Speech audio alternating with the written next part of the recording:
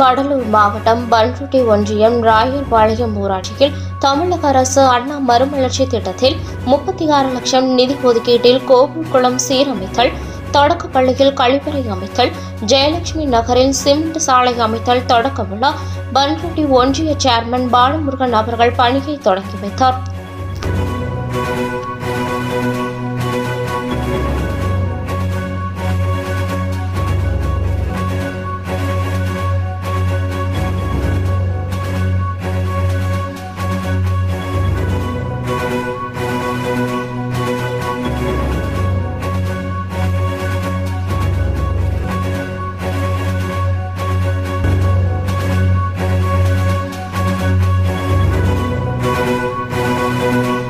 எல்லா வசதிகளும் உள்ளடக்கிய உள்ளதை செல்வோம் நல்லதை செய்வோம். பொன்னி மருத்துவமனை திருச்சி ரோட் பல்லடம்.